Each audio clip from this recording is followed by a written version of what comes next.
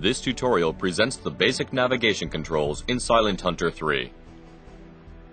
The main game interface includes the stations, the officer panel,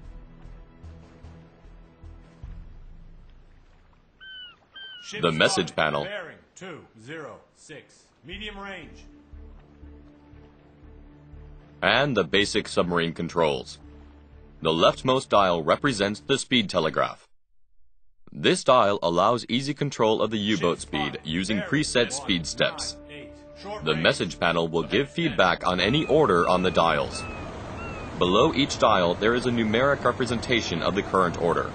The middle dial represents a compass. This dial allows easy control of the U-boat direction. Left clicking on the exterior disc will turn the U-boat in the selected direction. The external disc is a representation of the cardinal points of the compass. The internal disc represents the U-boat position. Below each dial, there is a switch button. For example, pressing the switch under the speed telegraph will bring up the knot meter.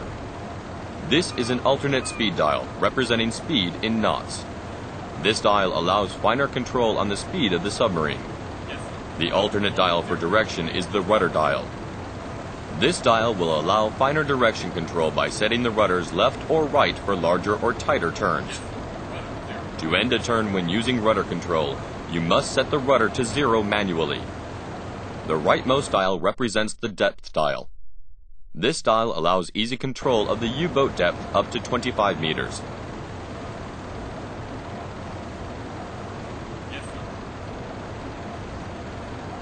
Note that when the camera is on the bridge view and a dive is ordered, the camera will automatically switch to command room view. Always remember that dive maneuver takes time. Some U-boat types dive faster than others.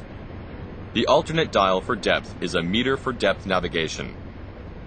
This dial allows you control up to the maximum safe depth of the U-boat.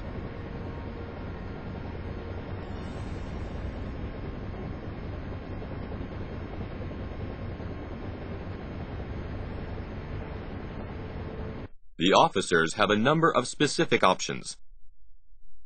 For example, the chief engineer gives access to emergency maneuvers like crash dive or blow ballast. Ordering a blow ballast maneuver will bring the U-boat to surface in the fastest way possible.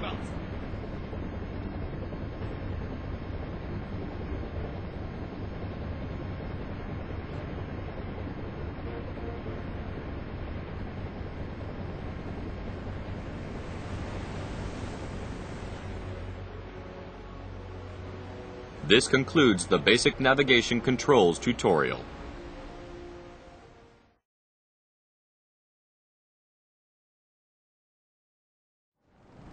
This tutorial presents the map navigation in Silent Hunter 3.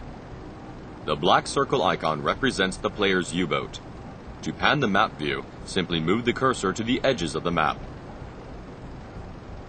The map view includes a set of map tools. The zoom out, the zoom in, the course plotting,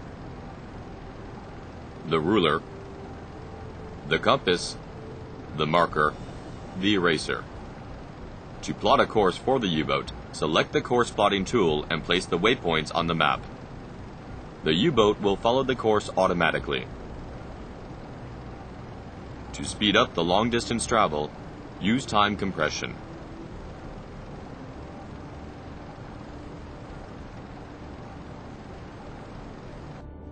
As soon as a ship is spotted, the time compression automatically drops to a low level. Select a contact on the map to learn details about it. A blue contact icon represents a friendly unit. Once in the objective area, plot a patrolling course to cover it as completely as possible. The navigator officer has a set of navigation assisting options.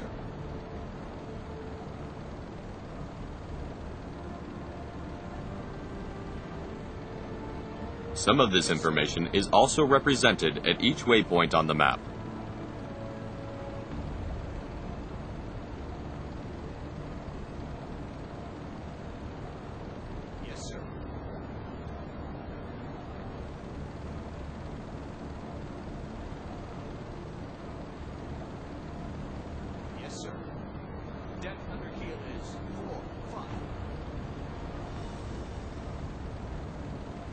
You can alter a plotted course by selecting waypoints individually and dragging them to a different position. During the nighttime, the map illumination changes to match the red lighting in the U-boat. As soon as you spot an enemy contact, represented by red icons on the map, start the interception procedures. First, measure the distance to the enemy contact to see how far the target is. Then draw an estimated course of the enemy. Next, mark a probability corridor in which you expect to find the enemy.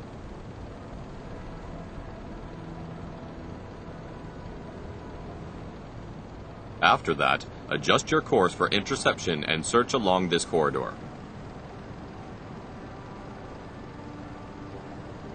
To shorten the search time, use time compression.